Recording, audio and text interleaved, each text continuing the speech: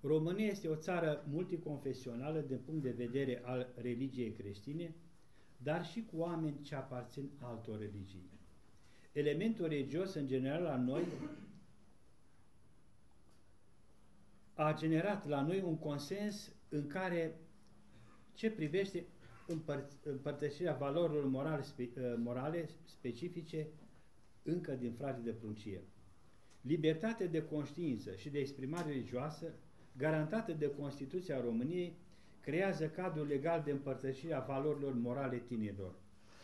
Însă, legea fundamentală creștină nu obligă, ci lasă la latitudinea omului modul de abordare a împărtășirii luminei credinței.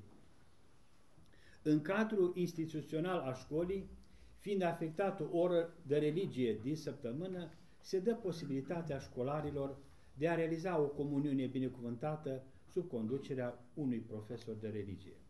Aici se face împărtășirea din cuvânt, se prezintă aspecte din realitatea creației și se vorbește despre mântuirea omului.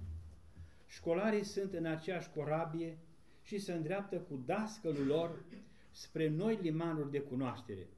Ei bat la porțile veșniciei. Noi, ca profesori, spunem doar cam atât despre elevi că au rupt scaunele și băncile. Nu.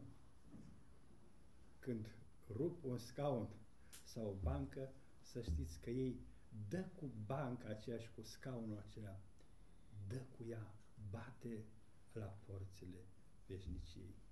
Nu-i mai certați când rupe către o bancă sau către un scaun. Și în inimile frățile voastre, spuneți, a dat și el să-i deschidă un înger porțile veșniciei. Dar nu le spuneți treaba aceasta, numai în inimile voastre să le spuneți că apoi intrați, intrați în conflict cu administratorul școlii și este mare bai. Clasa devine pentru, clasa devine pentru o oră biserică, devine casa lui Dumnezeu, casa în care coboară Dumnezeu și Sfinții Săi. Astăzi Hristos este acceptat ca dascăl în școlile noastre românești. Frățile voastre ca profesori îi deschideți clasa lui Hristos. Să știți, când eram la școală, când suna clopoțelul, toți trebuia să intrăm în clasă, să așteptăm profesorul în clasă. Dar să știți că Hristos nu intră în clasă până nu-i deschide ușa profesorului. Așa că frățile voastre, care unii sunteți dascăli în școlile noastre, să știți și totdeauna să deschideți cu multă sfială clasa puneți mâna pe clanță, deschideți ușor și spuneți, Doamne, intră Tu, intră și Tu cu mine la ora aceasta de religie. El să fie dascălul, iar tu să fii asistentul lui Hristos.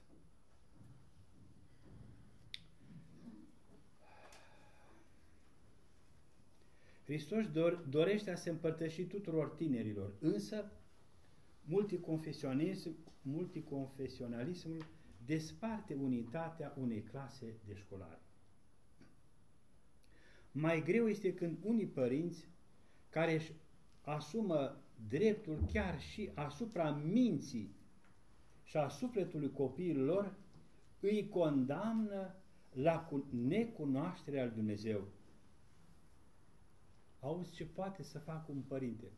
Să-și condamne el cu mâna lui să îi dea sentința a copilului său îi interzice să-L cunoască pe Dumnezeu. Nu semnezi ca să te duci la ora de religie și așa mai departe. Acel părinte îl condamnă pe copil la necunoaște Dumnezeu. Ce poate fi mai grav în viața unui copil decât condamnarea la necunoaștere? Hristos dorește realizarea unei comunități de iubire în Duhul Păcii, a respectului și a întrajutorării semnilor. A societatea umană este segregată de diferite curente ideologice, de diviziunea muncii și de accesul limitat al unor, a unor categorii sociale la bunurile materiale ale societății. Oare și în școală să încurajăm segregarea unui grup de copii atât de inocenți? Chiar din timpul școlii să se împartă copiii în creștini și în atei? Iată ce pericol ne paște părinților și fraților să împărțim din frage de pruncie, să împărțim o clasă în creștini și în atei. Ce relație mai poate să existe între un copil care părinții lui îl îndreamnă pe drumul acesta al cunoașterii lui Dumnezeu și celălalt este ateu. Gândiți-vă cum va zice, iată ateu. Va zice creștinul, copiii imediat se, se cataloghează, se marchează. Zice, noi creștinii stăm de partea asta, ateii de partea cealaltă. Oricum am putea să împărțim niște inimi atât de curate în atei și în creștini. Nu îi lăsăm să iubească așa cum iubesc îngerii. Unii oameni, vai de mine, unii oameni, dacă ar putea, asta am să repet, unii oameni, dacă ar putea, iar interzice lui Dumnezeu să le dea suflet fiilor lor la zămislire. Este cu tremurător. Dacă Dumnezeu l-ar întreba pe om, pe o mamă, vrei să aibă copilul tău din pântece suflet sau nu? Ar fi, din nefericire, oameni care i-ar spune Dumnezeu nu. Iar interzice lui Dumnezeu să-i dea suflet copilului său. Auziți? Ce adânc al despărțirii de Dumnezeu este în inima unor părinți. Iar interzice chiar lui Dumnezeu să le dea suflet fiilor lor la zămisire. Până unde, dragi, până unde dragi părinți.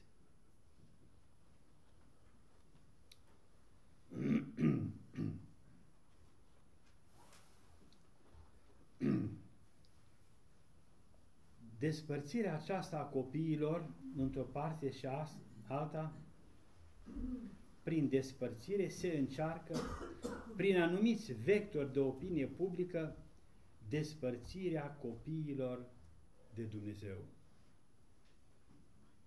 Aceasta nu mai este o dramă, ci o tragedie a cărei cortină se trage dincolo de timp. Deci, părinților, aceia care nu-și lasă pruncii să se împărtășească din lumina Dumnezeu, trăiesc, spune aici, nu o dramă, ci o tragedie a cărei cortină se trage dincolo de timp. Iubiți părinți, nu vă lăsați pruncii să fie actorii acestei tragedii, căci ea nu se joacă decât o dată în viața unui om. Nu vă lăsați copiii să joace, să fie actorii acestei tragedii, căci ea nu se joacă decât odată în viața unui om. Dumnezeu n-a creat omul pentru a fi actorul acestei tragedii, ci pentru a fi în comuniunea iubirii sale în veșnicie. Iertați-mă, am încheiat și trimiteți câteva SMS-uri dincolo înainte de a ajunge eu să mă ierte și ceilalți pe care i-am întârziat și pe ei cu o jumătate de oră. Vă mulțumesc!